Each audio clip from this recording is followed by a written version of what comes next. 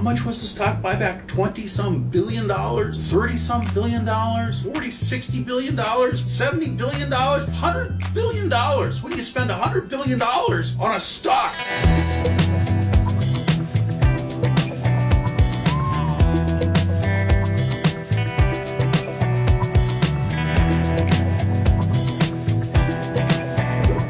Particular element of the tax bill impacted Apple in a huge way. Apple had been hoarding $200 billion overseas that should have been taxed long, long ago.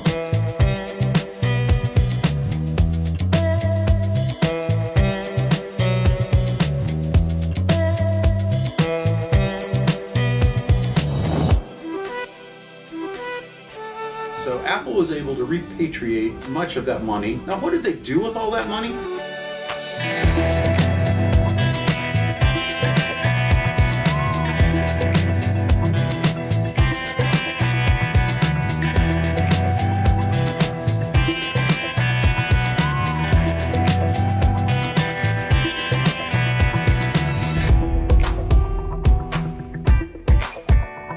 Really didn't need the money, so they're using it to make their company more valuable, which makes it harder for an average person to buy into the company.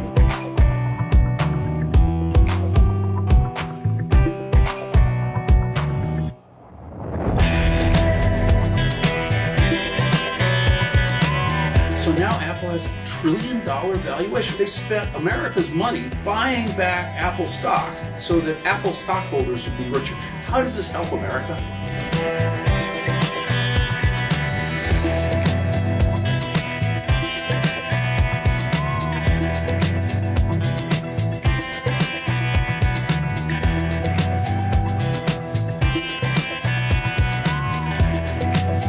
You know, $100 billion, you know, that could have built a few bridges. That could have done a lot to fund cancer research. $100 billion to benefit Apple stockholders. That was the result of intense lobbying from Apple.